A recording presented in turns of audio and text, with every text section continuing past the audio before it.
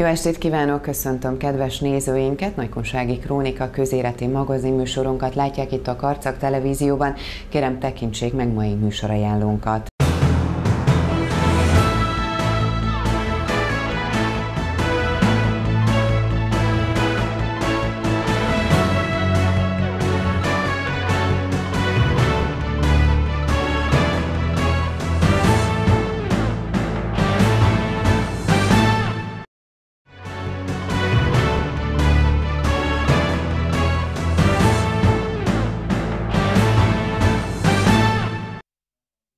Köszöntöm kedves nézőinket! A közelmúltban átadták Karcagon a Parkerdő lombkorona sétányt. A városvezetése nevében a megjelenteket eh, Kovács Szilvia Karcagváros alpolgármestere köszöntötte, akit most én köszöntök szeretettel itt a stúdiónkban, és örülök, hogy elfogadta meghívásunkat. Köszönöm szépen a meghívást, és én is nagyon sok szeretettel köszöntök minden kedves karcagi televízió nézőt.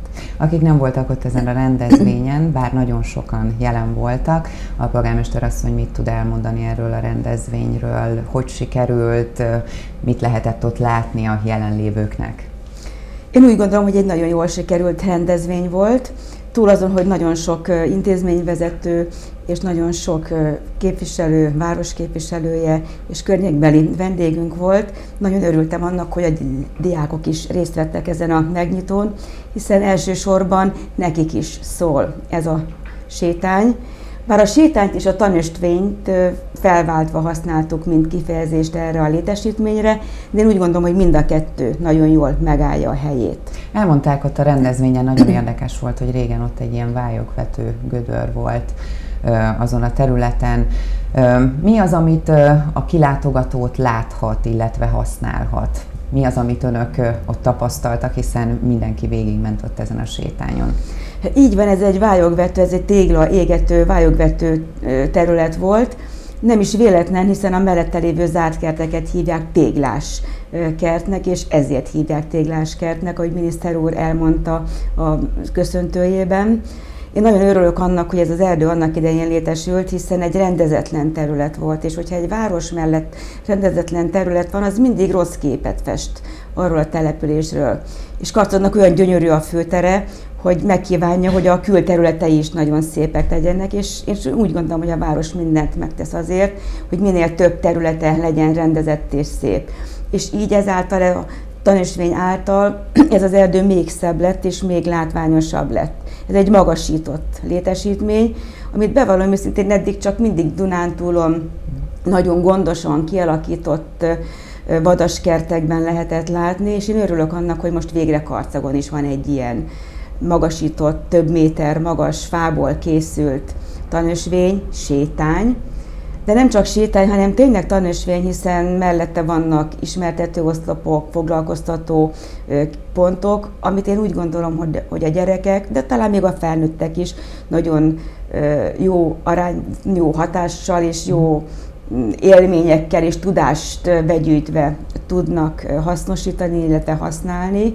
Én bízom abban, hogy mindenki megnézi, és és többször ki fog oda majd látogatni. Ugye az előbb említett, hogy a Dunántúron lehetett eddig ilyet látni, ugye ez gondolom egyértelműen abból adódik, hogy azért a polgármester asszony a konyhakertek program kapcsán azért járja az országot, és gondolom, hogy minden településen azért egy picit betekintést nyerhet annak a településnek a környezetébe valójába. Gondolom mindenhol azért a városvezetők, vagy akikkel ott tárgyal, azok megmutatják a településeiket. Így van, és eddig tényleg csak nagyon frekventált nemzeti parkokban lehetett térneket látni, és én úgy gondolom, hogy ahhoz, az, hogy Karcagra egy ilyen került, nagyon hálásak lehetünk a nefagnak és a kivitelezőknek, hiszen én, én úgy gondolom, hogy nagyon jó színfoltja a városnak, és hogyha valaki kilátogat a futópályára, akkor a játszótér mellett most már egy ilyen létesítmény is várja, és ez még több pont, amivel tudjuk a karcakiakat gazdagítani. Én úgy gondolom, hogy mindenkinek majd hívogató lesz ez a két csúszda, ami az egyik pontról elérhető. Tényleg nagyon hangulatos, madáritató is van, szépen be lesz majd parkosítva a domboldalnak a, a, a széle, is, illetve az egész domboldal. Van egy kis barlangszerű létesítmény, ott egy kis ismertető tábla van. Én, én úgy gondolom, hogy nagyon sikeres és nagyon szép létesítmény lett. Én nem gondoltam volna, hogy ez ilyen jól néz ki, és, és ennyire élvezetes egy kicsit, nem csak a földön járni, mm. hanem magasabban mm. megnézni az erdőt. Most kopár volt minden, amikor megnéztük. Hát várom, amikor majd tele lesz minden élettel, zöldülnek a fák, és nagy lombok lesznek, és nagyon meleg lesz, mm. hogy akkor milyen lesz ez a sétány. Én biztos vagyok benne, hogy akkor is nagyon élvezetes lesz. Lehet majd érezni az erdőnek az illatát, Ugye és kika- mindent. Kikapcsolódás szempont, tehát ha így átgondoljuk, átgondoljuk akkor több részre is lehet gyakorlatilag ennek a használatát bontani. Ugye a város egyik kiemelt stratégiája az, hogy a turizmusunkat fejlesszük. Így van nagyon, be, nagyon jól beéleszkedik, hiszen ha valaki Karcagra látogat, akkor nem csak a belváros tudja megnézni, hanem a kis fürdőben, az Akászliget fürdőben eltöltve egy kellemes délutánt, este ki lehet menni, és lehet egy sétát tenni, lehet futni, lehet a gyerekeknek játszani, sétálni, biciklizni, és ezen a sétányon végig gyalogolva, én úgy gondolom, hogy nagyon szép lezárása lehet egy karcagi kirándulónapnak. A másik része az, az hogy amikor például a, a gyerekek, általános iskolás gyerekekről is beszélhetünk, de beszélhetünk már nagyobb gyerekekről is. Az, hogy test közelből lássák a természetet, mert ugye egy tanórán nem biztos, hogy, hogy úgy kapják meg azokat az ismereteket, ahogy az a való életben látszik, tehát itt azért test közelből. E, erről, mint pedagógusnak mi a véleménye? Ö, teljes mértékben egyetértek, és én úgy gondolom, hogy az óvodásoktól egészen a középiskolás korú gyerekig, gyerekekig mindenkinek helye van itt ezen a sétályon, ezen a tanúsvényen, és én nagyon szeretném is, hogyha ha minden tanulós csoportot kihoznának ide, hiszen itt tényleg megtapasztalhatják az erdőnek a csendjét, az erdőnek a zajait, a neszeit, a madárfüttyöt, és minden növényt, minden bokrot megfigyelhetnek, testközelből megtapinthatják, végigmehetnek, és, és talán megtanulják majd tisztelni, becsülni, szeretni az erdőt, bár szerintem a gyerekeket erre nem kell tanítani, és én bízom abban, hogy erre vigyázunk is, erre a létesítményre. Bár már hallottam olyan híreket, hogy egy-két rongálás történt, én azért bízom abban, hogy a karcagiak őrző tekintete kísérni fogja ezt a sétányt, ezt a tanúsvényt, és nem hagyják, hogy, hogy baja legyen. És én abban is bízom, hogy a biológia órák itt is lezajlanak, illetve kilátogatnak szabadidős tevékenység kapcsán is, vagy akár egy tanóra kapcsán is az iskolások, az óvodások pedig, amikor csak tudnak, akkor, akkor látogassanak ki. Biztos vagyok benne, hogy nagyon jó kis lovaskocsis programmal ezt nagyon jól össze lehet kapcsolni, és ez a gyerekeknek mindig hatalmas élményt jelent. És biztos vagyok benne, hogy jobban meg is marad, amit itt tapasztalnak, mint hogyha egy munkafizet vagy egy könyv mellett tapasztalnának meg, vagy tanulnának meg hasonló dolgokat. A polgármester asszonynak is van családja, vannak már ugye unokái, és mit ajánl a karcagi családoknak ezzel a létesítménnyel kapcsolatban? Én csak azt ajánlom, hogy egy-egy délután vagy délelőtt látogassanak ki, érezzék jól magukat, és minél többször tegyék ezt, és minél több mindenkinek mondják meg, hogy látogassák és nézzék meg. Legyen a miénk ez a tanúsvény, ez a sétány. Köszönöm szépen, hogy eljött hozzánk a polgármester asszony, majd visszavárjuk egy következő interjúra, hiszen van még téma, amit meg kell beszélnünk, amiről beszélgetnünk kell. Mit kíván a kedves televízió nézőknek az új esztendőre? Hát én nagyon sok boldogságot kívánok, sok sikert, de mindenhez jó egészséget az Isten áldásával. Köszönjük szépen, hogy eljött hozzánk, és sikerekben gazdag, boldog új évet kívánunk Miselnek és családjának. Köszönöm, hogy itt volt. Én is köszönöm szépen. Kedves nézőink, már megköszönöm a figyelmüket.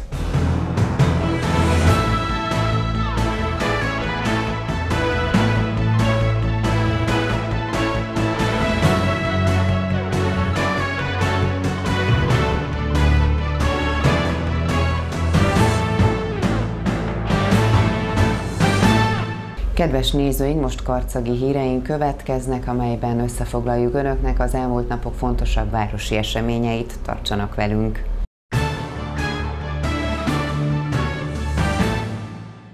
Kovács Sándor meghívására érkezett Bájer Zsolt karcagra, aki új könyvéről beszélgetett a zsúfolásig megtelt Dériné Kulturális Központban Csúrákossal. A népszerű televíziós műsorvezető és blogger könyvéről és annak megszületéséről beszélt a Karcag televíziónak. Életem első kötete, amihez nekem van a legkevesebb közöm. ugyanis ezt az egész ügyet a Csúri Ákos barátom találta ki. Két évvel ezelőtt ő fűzött meg, hogy kezdjek el blogot írni. Eszembe nem jutott volna nekem ez magamtól. Elkezdtem blogot írni, aztán rászoktam. Mert érdekes, meg jó érzés az, hogy van azonnal visszajelzés. És akkor egy olyan három vagy négy hónappal ezelőtt felhívott, hogy eltelt két év, kinyomtatta az teljes blogomat, amit két év alatt írtam, 1700 oldal, és hogy abból ő összeszerkesztett egy kötetet. Mondom, Ákos, te elmebeteg vagy, hát, hogy te kiadjuk könyvbe a internetet. Azt mondta ki, mert pont azokat vette ki, aminek könyvben van a helye. Mondtam, jó, szerintem ezt az ember nem lesz, akit ez érdekel. Kinyomtatta, megcsinálta, lábon eladtunk már nem tudom hány ezer darabot, és viszik. Én vagyok a legjobban meglepve. Szerintem ez kuriózum. Szerintem blogból még ember nem így csinált könyvet, csak a hülye csúri. és attól függetlenül, hogy nyilván szerkesztés után én is megnéztem, meg, meg átnéztem, meg elég, akkor is én írtam, még hogyha nem is könyvbe volt számva. Tehát tudom, hogy mi van benne. De biztos vagyok benne, hogy ha úgy kezd vitte volna el Ákos ezt terjeszteni ezt a kötetet, hogy van egy blogból készült kötet, akkor hát negyen ennyi se lenne a eladás. Itt valószínűleg a nevem az, az számított. Hát ez jó.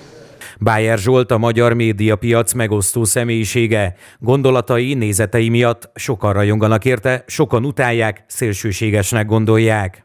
Eh, nem hiszem, hogy ez szélsőségesség. Sokkal inkább ha már, akkor... Szókimondás? Ez megvalósulása valaminek, amiről Jézus azt mondta volt, hogy légy hideg vagy forró, de ne légy langyos, mert kiköplek az én szájamból. És hogyha ezt sikerült megvalósítani az életben, akkor az jó. E, és hogyha valakit vagy nagyon szeretnek, vagy nagyon utálnak, jelen esetben engem, akkor nyilvánvaló, hogy e, ez valami olyasmi lehet, hogy itt nem vagyok langyos. Én egy nagyon karakteres álláspontot képviselek minden kérdésben, korán sem szélsőséges, karakteres és határozottat is. Bájer Zsolt naponta frissíti a blogját, de nem rajong az internetes virágért. Szinte minden nap kerül a blogomra valamilyen új bejegyzés, és csak akkor, amikor valami rettenetesen fölidegesít, vagy valami nagyon-nagyon tetszik, ezekben az esetekben. De többnyire mondjuk tíz esetből nyolcszor valami nagyon fölidegesít, és annak kapcsán születik blogbejegyzés. Tehát ez egy nagyon nagyon érzelmi ügy, nagyon impulzív dolog a blogírás, nyilván itt a, azt egyáltalán lehet műfajnak nevezni. Gyors, rövid, érzelemmel teli, valamire azonnal reagál, és azt is várja ugye az ember ilyenkor, hogy azonnal van visszajelzés. Ettől jó, vagy ettől vonzó, ettől tudja így beszippantani az embert, annak ellenére is, hogy én nagyon ellene vagyok ennek az egész internetes világnak, és Gutenberg galaxis gyermekeként még mindig idegenkedve nézem magam ebben, holott napi már csak a munkám véget is szerintem napi 5-6 órát biztos, hogy eltöltök a hálón, de ettől függetlenül utálom. A műsorvezető író szerint a vásárlók nem fognak csalódni a könyvében. Aki szeret engem, az azt fogja kapni, amit vár, meg amit, amit, amit szeret bennem. Rövid, impulzív, olyan bajjeres írásokat aki utál, az meg bátran azért vegye meg, mert ő is pont azt fogja kapni, amit vár, és akkor legalább idegeskedhet.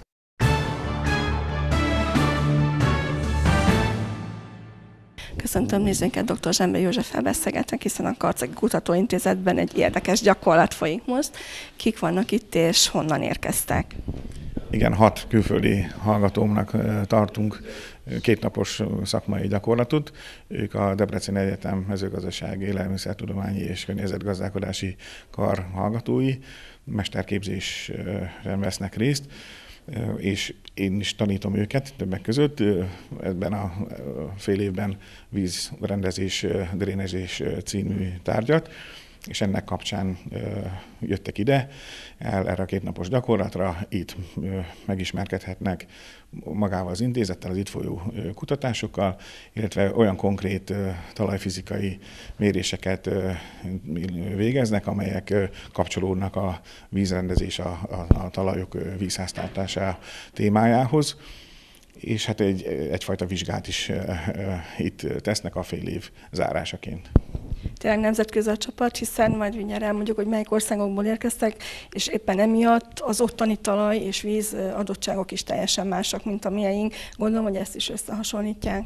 Természetesen a hat hallgató öt különböző országból érkezett, két lány Mongóliából, van egy fiú Nigériából, egy lány Angliából, egy fiú Ekvádorból, és egy fiú pedig Koszovóból. Hát valóban azért az adottságok azok mások, de hát itt olyan alap téziseket is megtanulnak, amelyek természetesen általános érvényűek ettől függetlenül a magyar sajátosságokat is bemutatom nekik természetesen, de olyan számításokat végeznek, amelyeket bármilyen talajtípuson, bármilyen ökológiai adottságok mellett tudnak hasznosítani. Tehát akkor itt az alapokat megtanulják, és utána a saját országukban tudják tovább fejleszteni. Hát remélhetőleg így lesz ez a, ez a cél valóban. És most hallottuk, hogy honnan érkeztek, de ide máskor is fognak jönni, vagy ez csak egy ilyen egyszerű alkalom, hiszen tudom, hogy ön szereti, hogyha a gyakorlatot is gyakorlatban tanulják meg a diákjai. Igen, valóban ez van, ezért jöttek el ide. Én úgy gondolom, hogy fogom őket tanítani a következő fél év során is, és júniusban, ez már ugye több éve így van egyébként, júniusban majd visszajönnek, akkor egy négy napos gyakorlaton fognak részt venni, ahol konkrétan már ugye ki tudunk menni szántóföldi körülmények között is fognak tudni mérni, megismerkednek az itteni talajokkal, be is tudnak menni egy, egy szelvénygödörbe, tehát tényleg testközelből látják a mi adottságainkat, illetve valóban, hogyha tudják kötni a, az elméleti tudást a gyakorlathoz, akkor az jobban meg is marad. Hát akkor reméljük, hogy találkozunk velünk nyáron is, és akkor visszajövünk, megkérdezzük, hogy hogyan sikerült az itt megtanultakat elmélyíteni. Szerintem ez megoldható, akkor júniusban én fogok jelentkezni, amikor megszervezzük a, a négy napos gyakorlatukat, és akkor valóban már nyilatkozhatnak ők is arról, hogy mennyit tanultak már az elmúlt egy év során. Köszönjük szépen! Én is köszönöm a lehetőséget. Az úriember Florian Demelenzinek hívják, ő Koszovóból érkezett, és a Debreceni Egyetemen tanul a mezőgazdasági élelmiszertudományi és környezetgazdálkodási karon. Azért választotta ezt a ezt az egyetemet, hogy a mester képzésen részt vegyen. Jelen pillanatban pedig a harcegi gyakorlatát tölti. Elmondása szerint olyan ismeretanyagoknak a birtokába jut, miközben ezeket a méréseket elsajátítja, amelyeket otthon is fog tud majd hasznosítani. Náluk esetleg van hasonló kutatóintézet, ahol ilyen méréseket végeznek, tehát ott náluk az egyetemen az oktatás, ez hogy zajlik? Uh, I did my uh, uh, bachelor studies in Faculty of Agriculture, while in uh, alapképzését azt Koszovóban szerezte, tehát a bachelor diplomáját természettudományokból, de mindenképpen érdekelte az, érdeklik az agrártudományok, ezért jött Magyarországra. Koszovó nincs messze Magyarországtól, tehát ez neki nagyon praktikus választás volt. Ami nagyon érdekli az a víznek a problémája. Náluk sokkal nagyobb a vízhiány, mint nálunk illetve ugye a vízkészleteik nagyon sérülékenyek, és ezzel mindenképpen szeretne foglalkozni, mert ez egy aktuális probléma Koszovóban. Uh, scarcity compared to uh, Kosovo, and it will be a really useful and really useful studies to, uh, to finish here. Akkor ha Debrecenbe végez, akkor visszamegy, valószínűleg ezen a területen fog elhelyezkedni. Yeah, it will be, uh, I will be really happy to go back. Szeretne visszatérni Koszovóba a tanulmányának a befejezése után, és ezt a tudást hasznosítani a saját országában. Uh, Mivel a talajadottságok hasonlóak, mint nálunk, az elmondása szerint azért ezeket a, a, az eszközöket jól fogja tudni, ezt a tudást jól fogja tudni hasznosítani. Azért is jött Magyarországra, mert Koszovóhoz képest Magyarország az fejlettebb, ország és a mezőgazdasághoz kapcsolódó tudományok sokkal fejlettebbek. my newborn country. Well, my name is... Uh, Ecuadorból érkezett Ramirónak hívják, és uh, szintén ugyanezen a szakon uh, tanul, mint a koszovói uh, kollégája. Management and agriculture és miért pont ezt a szakot választotta? Tehát miért jött Magyarországra? Azért választotta Magyarországot, mert köztudottan a mezőgazdaságtudomány, illetve a környezetgazdálkodás oktatása az jól kialakult már nálunk, illetve Magyarország fejlett országnak, Magyarországot fejlett országnak tartja. Ösztöndíjá van itt, a országaink között, tehát Ecuador és Magyarország között van egy ilyen ösztöndíj program, és hát ugye már jó hírünket vitték az előző évfolyamoknak a hallgatói, és ezért választottak választotta? Mely terület érdekli? Általában a mezőgazdaság, illetve a környezetgazdálkodás érdekli, de azon belül kiemelte a, a talaj használatnak a, a fontosságát, és hogy hogyan lehet környezetbarát, környezetkímélő módon növényt termeszteni, ez érdekli.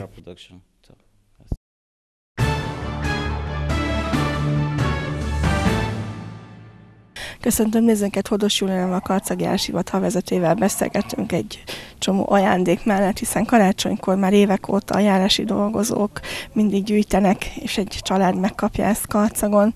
Így volt ez gondolom most is, hogy sokan sok mindent hoztak, de mi mindent kapott ez a család? Igen, én is szeretettel köszöntök mindenkit. A, ugye, ahogy említette, minden évben gyűjt a kormányhivatal, tehát az egész kormányhivatal, és ezen belül a kilenc járási hivatal is összességében, és ez alapján, ami összegyűlik adomány, kerül kiválasztásra, vagy szét, tehát szortírozásra adnak az adott családnak, ahol egy-egy településen a polgármester vagy a képviselő javaslatára a leghátrányosabb helyzetű, és ebben az időszakban adományra rászorul.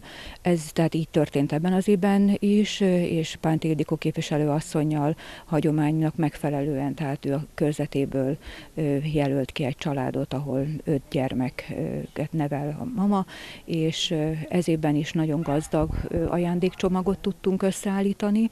A tartós élelmiszerektől, tehát krumpli, hagyma, alma, olaj, cukor, a gyerekeknek, életkoruknak megfelelő ruházatot, játékot tudtunk, hát a karácsony készülöttével közel mellettével egy kis szaloncukor és édesség is található természetesen a csomagban. Amit én szeretnék kiemelni, hogy minden évben nagyon komolyan vették az én kollégáim a adományozást, tehát nagyon szociálisan érzékenyek, de ami megható volt, hogy ebben az évben teljesen felülmúlta az eddigieket, tehát közel háromszorosát gyűjtötte a járási hivatalunk, és ez főleg a pénzadományok tekintetében jelenkezett, amelyet én ismét nagyon köszönöm a kollégáimnak, és kívánom, hogy nekik is nagyon kellemes és békés karácsonyi ünnepük legyen. Mi is hasonlókat kívánunk, köszönjük szépen. Köszönöm szépen a lehetőséget.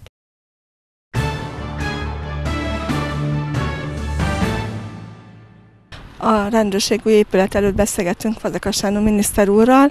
Látványos szakaszához érkezett a beruházás a karcegi rendőrkapitányság építése a legnagyobb középület beruházás Karcagon évtizedek óta. Látszik az, hogy a munka az jó ütemben halad, ezt lehetővé teszi az enyhe téli időjárás is, és ez megoldja a rendőrség elhelyezését, azt, hogy az állampolgárok biztonságára ügyelő szervezete jó munkakörülmények között tudjon dolgozni. Fogda is épül itt helyben, tehát ez a elhelyezési probléma is megoldódik és a városkép is egy hangsúlyosabb elemmel lesz gazdagabb. Én látom azt, hogy az embereket érdekli ez a beruházás, megállnak, érdeklődnek. Azért jöttem el én is, hogy most már az alapkőletétel egy-két hónapja megvolt, személyesen is tájékozódjam a munkaállásáról. Tényleg jól haladnak, és egy 21. századi színvonalú épülettel lesz majd gazdagabb Karcag városa. Igen, tehát láttuk mi is, hogy sokan megállnak és nézik itt a látványtervet, ami tényleg egy szép lesz. Viszont itt van egy fenyő, tehát reméljük, hogy túléli a beruházás, hiszen eddig még sikerült megmenteni. Igen, hát itt korábban családi házak voltak, látszik, hogy a belváros is húzódik itt kifele a sugárút mellett, több középület is készült, elég itt a egyik mezőgazdasági Kft-nek, a Cserhátnak a székházára gondolni. Sajnos a fák ilyenkor útban vannak, kell helyettük ültetni majd, de remélem, hogy ez a fenyő megmenthető, pont a határán van az építkezésnek. Egy gyönyörű parkosított rész lesz majd a rendőrkapitányság előtt, és a parkolás egyébként hátul a Kisantal utca felőli területen oldható meg. Reméljük, hogy az időjárás engedi a munkálatokat. Köszönjük szépen! Én jó munkát kívánok az építőknek. Teleki Zoltán kapitány úrral beszélgetünk itt a beruházás előtt, és néztük a látványtervet. Itt tulajdonképpen majd az ön irodája lesz mögöttünk. Nagyon várja már a teljes állomány, hogy beköltözhessünk az új épületbe nagy köszönettel és hálával tartozunk mind Fazekas Sándor miniszter úrnak, mind a városvezetésnek, illetve Kovács Sándor elnök úrnak, valamint a főkapitányság teljes vezetésének, akik maximálisan teljes támogatással eh, eh, segítik ezt az építkezést. Hetente tartunk itt eh, úgynevezett konferenciát, ellenőrzés, hogy hogy halad a munka. Most épp a munkások ebédszüneten vannak, és azért nem látunk dolgozni embereket az építkezésen, hátul vannak, de úgy gondoljuk, hogy jó ütembe halad, és ha az idő is kegyes hozzánk, akkor ahogy tervezzük, 2018 áprilisában már itt tudjuk ellátni a feladatainkat. És hát azt gondolom, hogy ez az önök munkáját is meg fogja könnyíteni, és a lakosoknak is egy helyen lesz minden, hiszen azért most van, amikor át kell menni más településre ügyet intézni. 2015. július 1-ével két járás területén, július 1 két járás területén látjuk el a feladatainkat, és a megnövekedett terület kapcsán a rendőrkapitányság létszáma is nőtt. Sajnálatos módon a régi helyen már nem tudtuk az elhelyezést megoldani, így az igazgatás rendészeti osztályt kisújszállásra kellett ideiglenesen átköltöztetni, és megoldódik ez a problémánk is az új épülettel, valamint a közlekedésrendészeti osztály sem lesz szétdarabolva, hiszen jelenleg a városgondnokság jó voltából egy rendőrállomás is a rendelkezésünkre van bocsájtva, hogy elférjünk. Ez az új épület megoldja ezeket a problémáinkat is, és minden egy helyen lesz. Tulajdonképpen több mint tíz évet vártunk erre, hogy ez, ez az építkezés megvalósuljon, úgyhogy azt gondolom, hogy ez a néhány hónap az már azért ahhoz képest semmi. Igen, most már a kollégák is elhiszik, hogy valóban valóban lesz új rendőrkapitányság, és e, ugye sokáig mindenki e, bizonytalan volt, és nem hitte el, hiába mondtuk, hogy igen, e, mindenki nagyon nagy odaadással és, és mindent beleadva próbálja támogatni ezt az ügyet. Most már látják ők is, hogy napról napra épül az új épület. Köszönjük szépen! Én is köszönöm.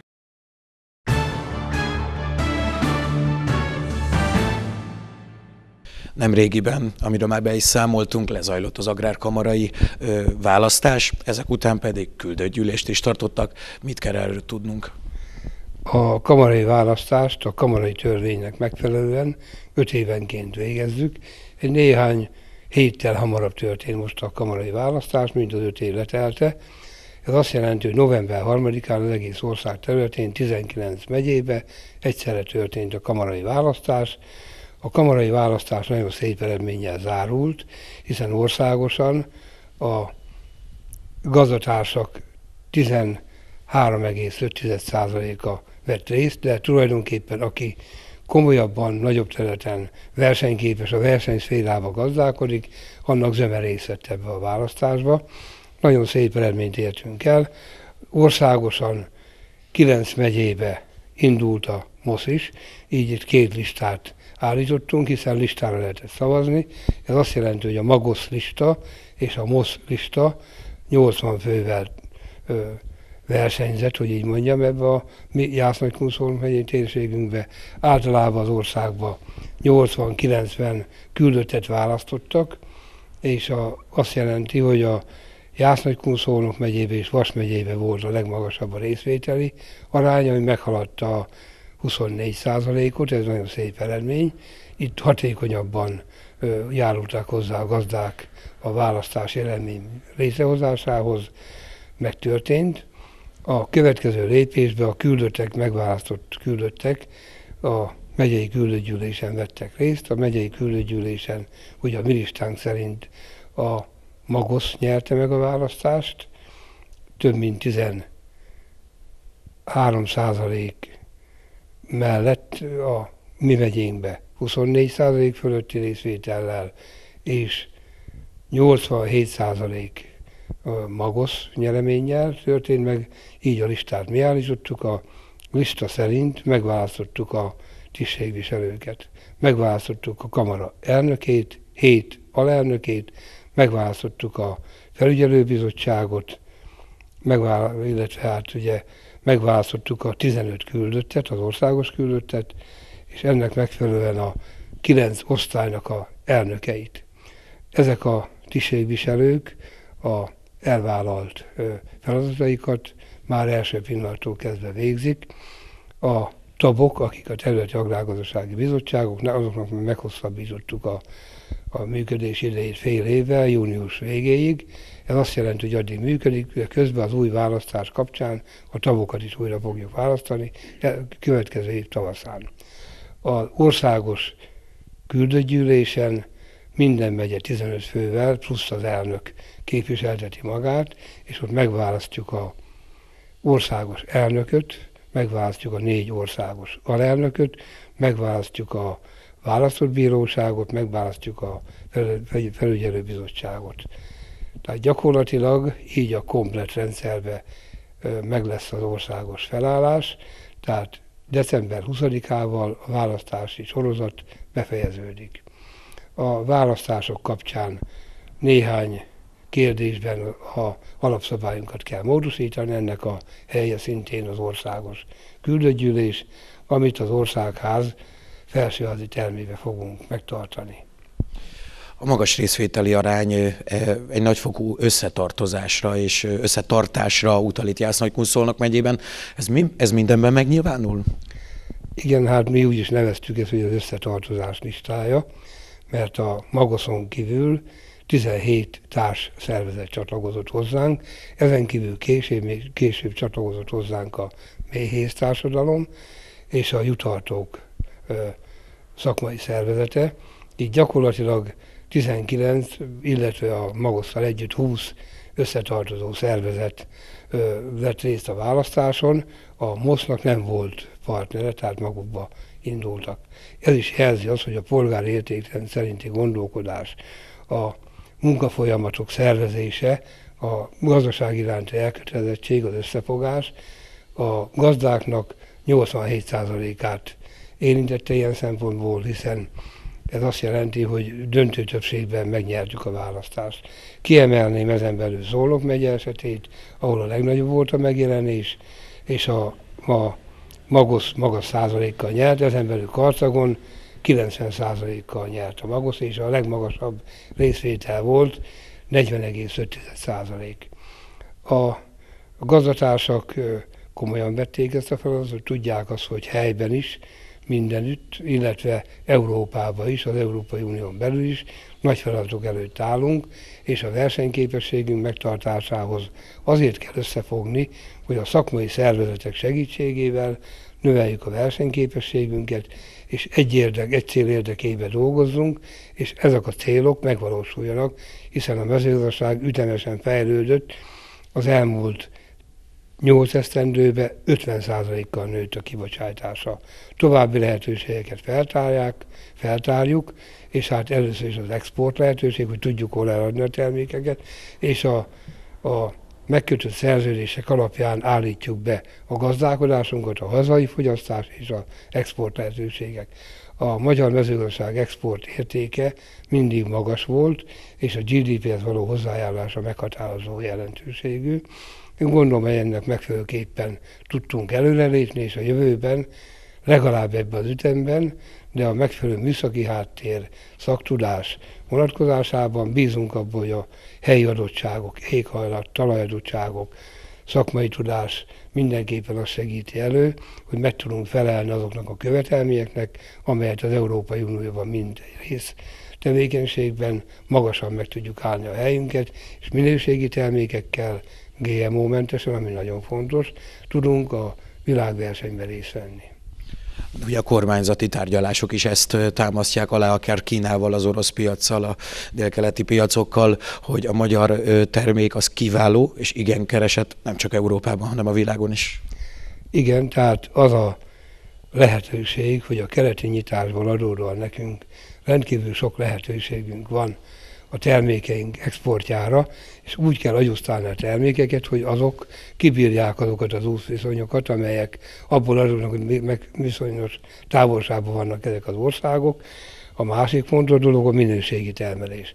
Azon belül a vetőmag termesztés. Magyarország éghajlata talajdottságai magasan megfelelnek a vetőmag előállítás feltételrendszerének, így olyan hozzáadott értékű termékeket tudunk a piacon megjelentetni, amivel magas a szakmai hozzáadott érték, és ezzel a vetőmag szortimenttel, amit mi elő tudunk állítani, a minőségi termékekkel, amelyekkel szintén meg tudunk jelenni, akár a keleti, meg a nyugati piacokon, meg a hagyományos piacokon, ehhez fejlesztjük a gazdálkodást. És hát ez azt jelenti, hogy a legutóbbi tárgyalás során, ugye a kínai delegáció itt volt Magyarországon, 11 ország, illetve plusz 5, tehát 16 ország képviselői, ez nagyon nagy elismerés a magyar gazdasággal szemben, így a Földművési Minisztérium vezetője, dr. Fazekas Sándor miniszter úr két fontos szerződést írt alá, a kukorica exportra vonatkozóan, illetve a méz exportjára vonatkozóan, de folyamatban van számos termék exportja, például a tej, megfelelőképpen a állati termékek, azon belül a sertés termékeink, de sorolhatnánk a gyümölcsféléket, konzervívori termékeket. Tehát ahogy fejlődik az országban a gazdálkodás színvonala, a feldolgozottsági szint, úgy egyre jobban tudunk a piacon, a versenyképességben megfelelni, és megfelelő hasznot hozni az országnak, hiszen lehetőségeink azok nagyon nagy lehetőséget jelentenek, nem azt mondom, hogy korlátlanok, de a mai ismereteink szerint, ha megfelelőképpen felkészülünk erre a versenyre, szellemileg, szakmailag, oktatásba, műszaki háttérbe, digitáció, digitalizáció felhasználása szempontjából, akkor egy komplex, magasabb szintű gazdálkodást tesz lehetővé, ami nyilván a többlettermék exportjába fog megjelenni.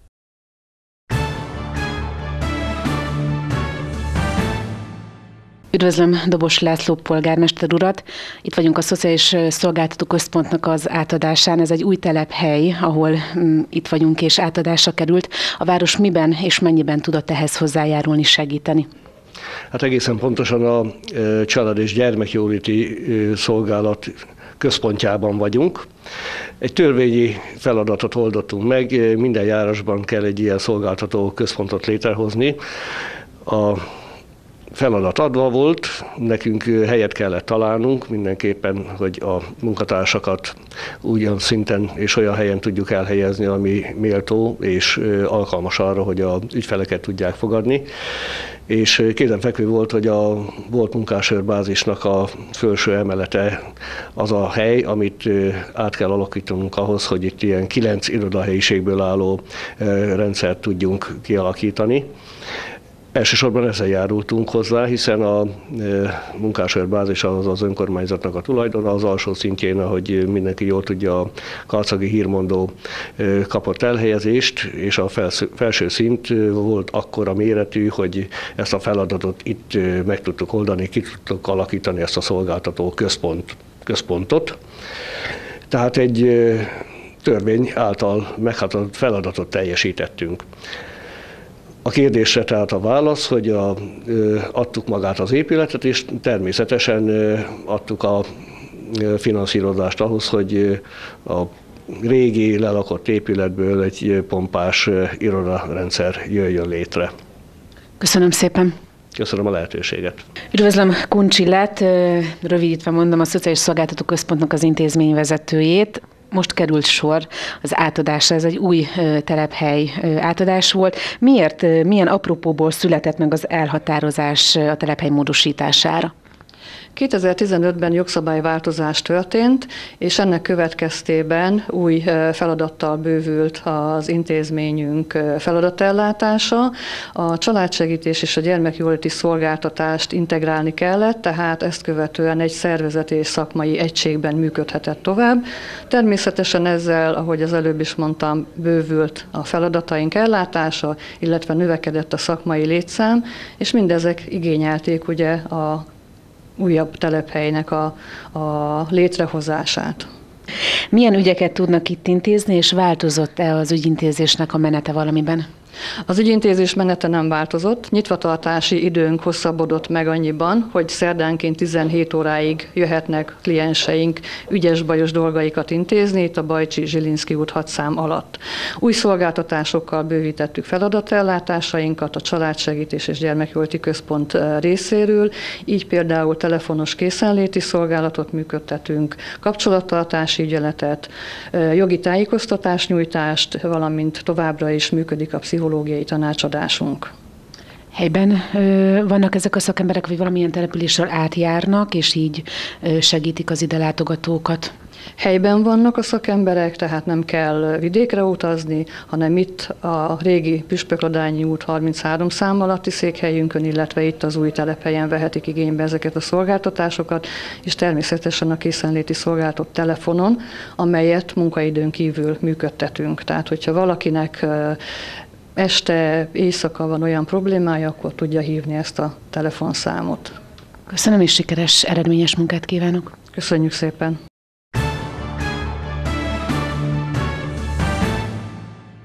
Köszöntöm nézőket, dr. Fazekas Sándor miniszter úrral beszélgettünk, hiszen Pántélikó képviselő asszonynak egy nagyon jól sikerült fóruma volt most a választókerületben.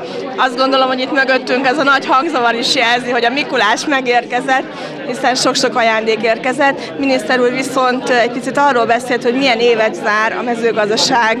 Mi az a legfontosabb gondolat, amit elmondal a nézőinknek?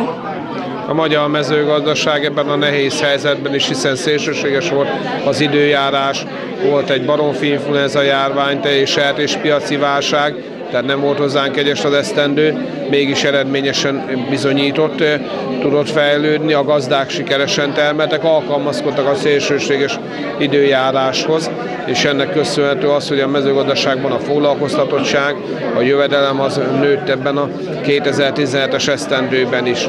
És itt is jó hangulat van most, hiszen Mikulás napjára esett a fórum, sokan voltak, kellemes témákról beszélgetettünk, olyanokról is, amelyek a város fejlődésével kapcsolatosak, volt jó néhány kérdés, de látszik az, hogy a gazdasági év az a mezőgazdasági év az a jó hangulatot megalapozta, hiszen akik itt vannak, ma is művelik a kertjeiket, vannak akik földdel foglalkoznak, jószággal foglalkoznak, tehénnel vagy lekvárral, és tehát a mezőgazdaságnak szinte minden részét érinti, és én bízom benne, hogy a jövő évet is sikerült megalapozniuk. Én örülök ennek a fórumnak, amely hagyományosan itt a kisegítő iskolában, régen kisegítő iskolában már évek óta tart egy olyan programsorozat, amely mindenki számára élményt nyújt. És mindig van meglepetés, most szerencsére érkezett az édes meglepetés, hiszen meg is kóstolhatta mindenki a szerencsi gyártermékeit, viszont hallhattuk, hogy hogyan is készül az igazi csokoládé. Ilyenkor Mikulás karácsonytáján sokan vásárolnak csokoládét, szaloncukrot, Mikulást, és a mostani meglepetés vendégünk Takács István, a Szerencsi Bombon Kft-nek a tulajdonosa. Ő mentette meg a Szerencsi csokoládét, hiszen a nagyjárat már régen bezárták, és gyakorlatilag a nulláról kezdte föléleszteni a termékeket. Most már komoly választékkal, bárhol találkozhatunk velük, és ez magyar termék. A Nemzeti Értéktárban szerepel, tehát nemzeti értékünk. Arra buzítok mindenkit, hogy vásároljon mindenki szerencsi csokoládét, kihasználom erre a mostani alkalmat is, mert biztos, hogy nem fog csalódni, és azokat a régi ízeket, amiket megszoktunk, azokat fogja majd újra megízelni, azok fognak majd kellemes élményt jelenteni. Köszönjük szépen! Köszönöm szépen! Öt éves a legszebb konyhakertek program, Kovács Szilve alpolgármester hogy miniszter úrnak is átadott ebből az alkalommal egy elismerést. Azt gondolom, hogy itt a számok úgy csúly röpködtek, hogy 22 2030 ezer, tehát azt gondolom, hogy ez egy óriási siker. Így van, a 22 karcegi jelentkező, akivel 2012-ben annak idén elindultunk. 2013-ban már 60 település, 939 kertje után az idén 366 település, 2351 kertje mérte össze a szépségét és a gazdagságát. Én úgy gondolom ez egy nagyon szép fejlődés. Különösen, hogyha azt nézzük, hogy az 5 év alatt 9031 kertnevezésünk volt, és nagyon sok, hét országból nagyon sok település volt az, aki aki ebben a programban részt vett. Valaki csak egy éve, de van, aki már hatodik éve nyűvi úgymond ezt a programot, és nagyon szép sikereket érnek el. De én úgy gondolom, hogy a legnagyobb eredmény az, hogy 22 ezer 20 év alatti fiatal tüsténkedett a kertekben. Úgy gondolom sikerült őket megnyerni, és még további fiatalokat tudunk megnyerni a kertészkedésnek, a föld szeretetének. És én úgy gondolom, hogy a legnagyobb elismerést a kerteseket illeti, hiszen az ő példájukon nagyon sokan kezdtek el kertészkedni, ezt megkérdeztük, és szinte hihetetlen 9432 kert jött össze. Ez néha úgy jött össze, hogy nulla akit bevonzott a programba, illetve nem a programba, hanem a kertészkedésbe. Aztán volt olyan értékelőlap, ahol egy, akkor kettő, öt. Aztán volt olyan, hogy 25 kert. Nyilván ez egy óvodai csoport, egy iskolai csoport. Ebből is lehet látni, hogy egy-egy csoportnak, egy óvodának, egy iskolának mekkora húzó, vonzó ereje van. És ezekből a számokból, ezekből az 1-es, 2-es, 5-ös, 25-ös számokból összejött ez a 9432 kert, ennyi kertet mentettünk meg ezzel a programmal, de én úgy gondolom, hogy sokkal-sokkal több hozadéka van, hiszen nagyon sok emberbe elültettük a kertészkedés csiráját, a magját, és hogyha ezt elültettük, akkor az előbb-utóbb ki is fog kelni. És azért itt a fórumon is hallottuk, hogy elismeréshez szóltak többen, hogy a piacon már azok azokat keresik, akik tudják, hogy milyen körülmények között termelnek, tehát azt gondolom, hogy karcagon már nem kell megmagyarázni, hogy ments meg egy kertet, itt már sokan bekapcsolódnak, és azért mindig meg szoktuk beszélni, hogy sokkal többen vannak, akik kertet művelnek, csak nem mindenki vállalja a megmérettetést. Így van, nem mindenki vállalja a megmérettetést, de a példa mindenképpen dolgozik, és ott van, és aki viszont vállalja a megmérettetést, az duplán, triplán mutat példát, hiszen őket azért nagyon sokan lekövetik, és szerencsére nagyon sokan megirigylik, és bizony-bizony ráébrednek arra, hogy mennyivel jobb mennyivel kényelmesebb is, és mennyivel egészségesebb, és mennyire kifizetődőbb megtermelni magunknak azt a zöldséget, gyümölcsöt, amit elfogyasztunk. És igen, most már elkezdik keresni a kistermelőket a piacon, ez is egy nagyon jó jel. Én úgy gondolom, hogy mindenkiben kialakul az az egészséges igény, hogy nézze meg, mit fogyaszt, mit eszik, és tudja azt, hogy az honnan származik, és biztosan egészségesen, vegyszermentesen állították elő. Még sok-sok öt évet kívánunk a KERT programnak, és beszéljünk arról öt év múlva, hogy már az 50 ezernél tartunk, nem a 22 ezernél. Köszönöm szépen. Én meg azt kívánom a kerteseknek, hogy legyenek hozzám továbbra is ilyen hülyek, segítsenek engem, hiszen láthatják, hogy mekkora húzóerővel és mekkora példaértékkel dolgoznak, és köszönöm szépen azt a segítséget, amit öt év alatt kaptam tőlük, és a leghálásabb nekik lehetek, hiszen nélkülük ez a program nem lehetett volna sikeres. Köszönöm szépen. Mi is köszönjük szépen. Túl vagyunk a fórumon, Ildikó nénivel beszélgettünk arról, hogy miért pont a szerencséket hívta meg meglepetésnek.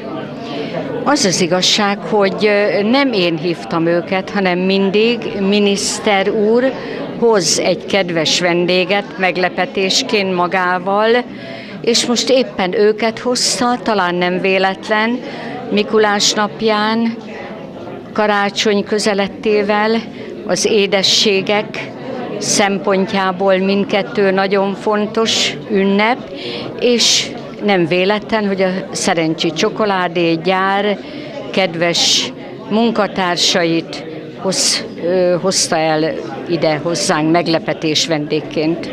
És hát azért hallhattuk, hogy a Mátai Szeretett Szolgált is megjelent városunkban, hallhattuk gyönyörűen énekelni a győrfiseket, tehát azt gondolom, hogy minden adott ahhoz, hogy egy picit fölhangolódja mindenki a lelkét a karácsonyra. Igen, valóban ez volt a szándék ezzel, annál is inkább, hogy a Györfi István katolikus iskola énekkara tanulói még nem voltak meghívottak rendezvényeinken, másrészt pedig a Máltai Szeretett Szolgálat most az advent jegyében azt hiszem, hogy tevékenységével segíteni akarással a legideálisabb, hogy erről ők, mint ahogy el is hangzott, szóljanak és segítségre legyenek az embereknek. Azt gondolom, hogy ez egy nagyon jó sikerült fórum volt, sok-sok olyan gondolat elhangzott, meg kérdésekre is választ kaptak a szakemberektől, az itt lévőktől, a lakosok. Én azt kívánom, hogy sok hasonlót szervezzen még Ildikó néni. Köszönöm szépen. Én is úgy érzem, hogy az emberek itt vannak, eljönnek, és annak körülünk, hogy az a sok-sok tombola, amely jótékonyságként érkezett, mindenki valamilyen formában részesülhetett belőle. Köszönöm a lehetőséget.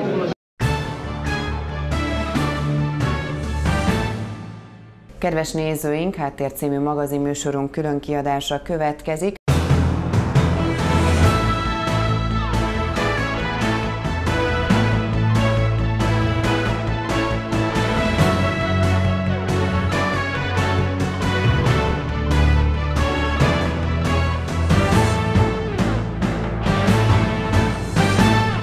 Kormányablakba költözött a NAV ablak. Ma volt az átadás, dr. Fazekas Sándor miniszter úrral beszélgetünk.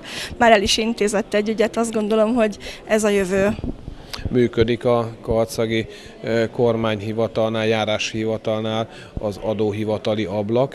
Ez lehetővé teszi azt, hogyha bárkinek adóügye van, akkor itt a kormányablak keretében ezt is meg tudja oldani. Már most is 1600 féle ügyet lehet közvetlenül indítani, lezárni, intézni a kormányablakoknál, és ez bővül az adóügyekkel, ami nagyon sok karcagi embert, vállalkozót, céget érint, szinte mindenkit, azt is elmondhatjuk, és a járás szempontjából is egy nagyon jó hozzáférési pont, hiszen ha ide valaki bejön a Karcegi Városházára, akkor itt szinte teljes ügyintézési lehetőség fogadja, nem kell körbejárni a félmegyét, mint 2010 előtt. Ez a fejlesztés a kormánypolitikának a része, amelynek a célja az, hogy a magyar emberek egy adott helyen a lehető legtöbb ügyüket el tudják intézni, így időt és energiát, pénzt lehet megtakarítani. Annyit szeretnék még hozzáfűzni, hogy tulajdonképpen ez egy karácsonyi ajándéknak is felfogható, hiszen az év végével ünnepek eh, jönnek eh, karácsony új esztendő, és a közigazgatás is hozzájárul a maga módján, a kormány is hozzájárul a maga módján, hogy a új esztendőben már ilyen szolgáltatásokkal könnyítse a lakossági ügyintézést. Köszönjük szépen! Köszönöm! Tamás Cinege Csillával, az adószakmai ügyekért felelős helyettes államtitkárasszonyjal beszélgetünk itt a megújult irodában. Azt gondolom, hogy ez egy karácsony ajándéknak is felfogható, hogy miniszter úr az előbb fogalmazott. Igen, hiszen a kormány még tavasszal döntött arról, hogy az országban összesen 91 helyen költözik be a Nemzeti Adó és Vámhivatal a kormányablakokba.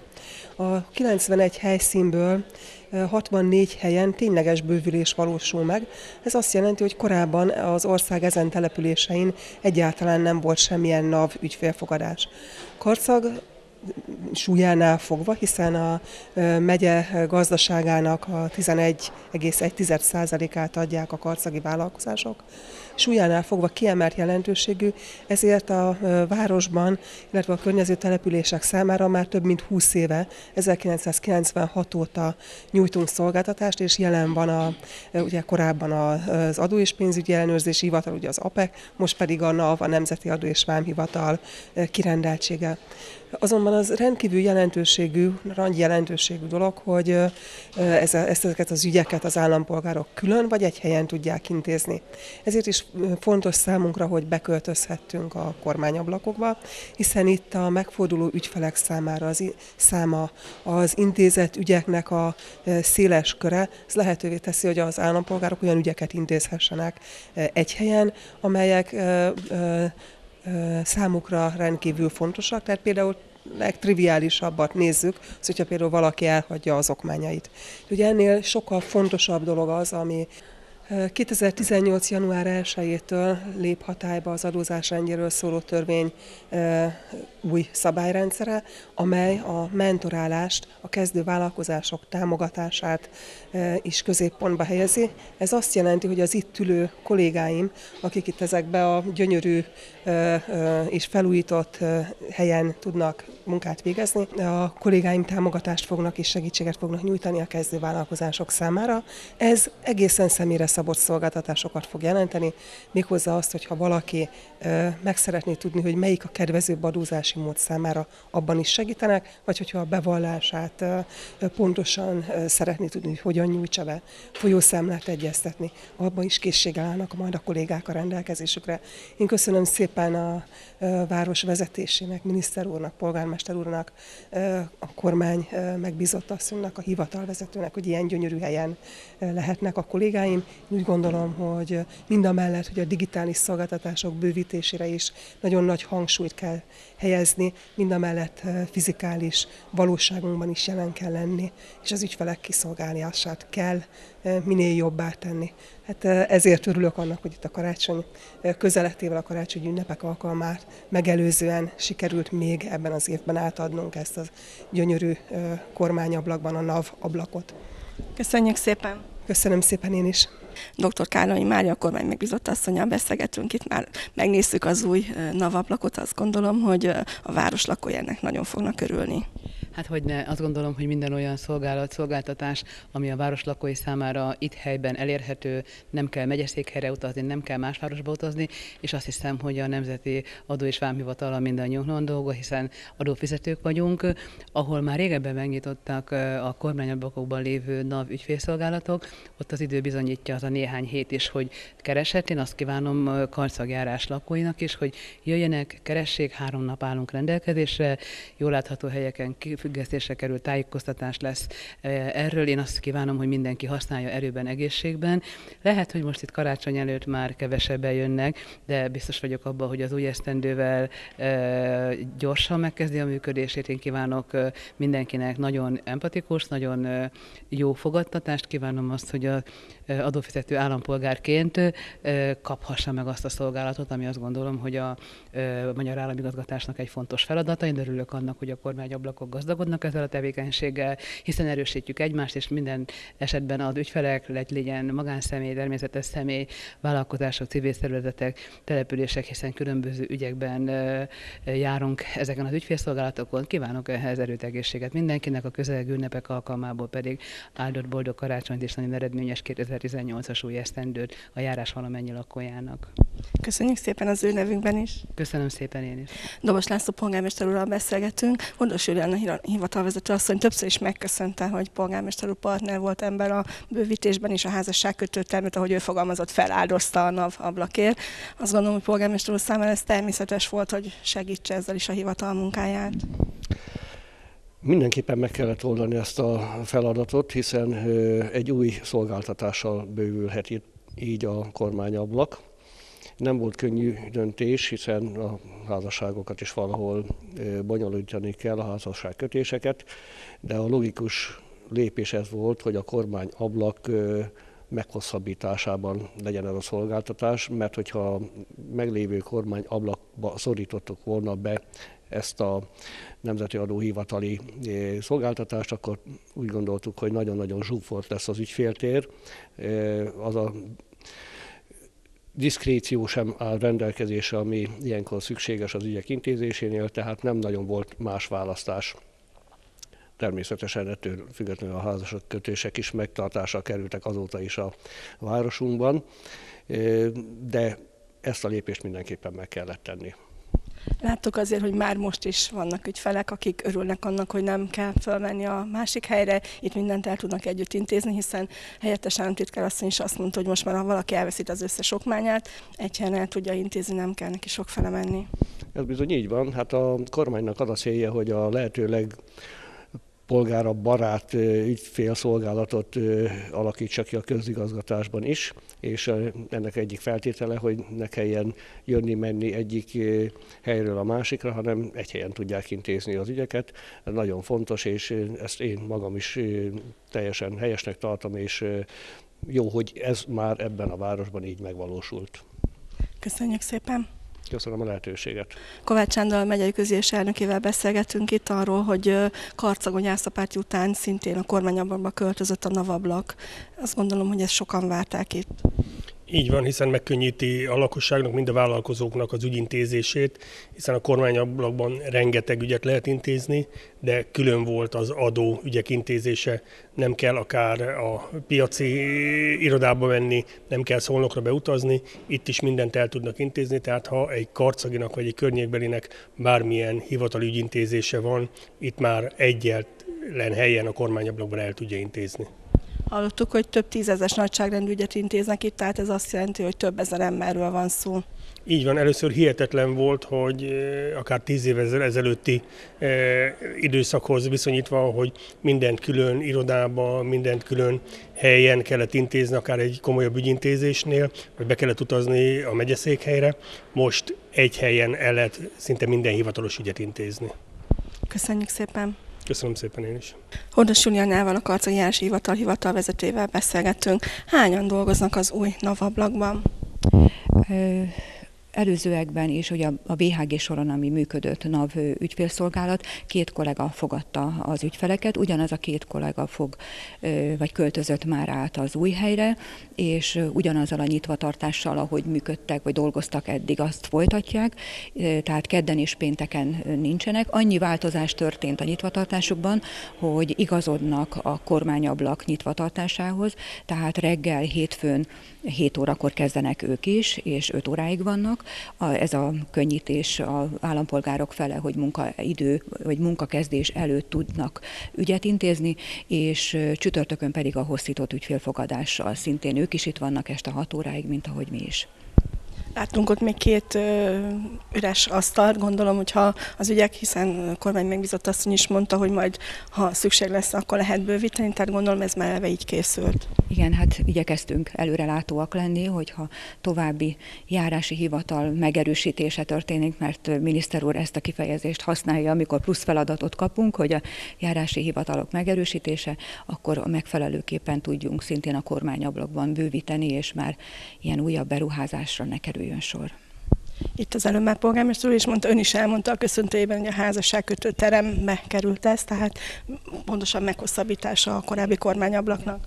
Igen, hát ez egy nagyon jó megoldás volt, mert első körben ugye mi azzal szembesültünk, hogy a kormány határozatban szerepelt, hogy 2017. december 31-ig a karszagi kormányablakban ki kell alakítani a NAV ügyfélszolgálatát, és a jelenlegi helyzet az ismert, hogy most kényelmesen lehet az ügyfeleket, vagy tudtuk eddig fogadni a kormányablakban, de újabb bővítésre nem láttunk lehetőséget. Tehát a megoldás azt kínálkozott, hogy az ügyfélteret fogjuk lezárni, onnan alakítjuk ki a maga az ügyfélfogadási helyszínt, és az a hátteres munkát, amit ugye az, a navos ügyintézőknek szükséges, ezt is abból a térből kell elvenni, és engem azért szomorított el végtelenül, hogy ugyanoda térnénk vissza, hogy az ügyfeleknek a folyosón kellene hidegben állni, várni, hogy rájuk kerüljön a sor, bár bízom benne, hogy nem sokat kell várakozni most sem, de mégis én úgy gondolom, hogy visszalépés lett volna az a megoldás, hogy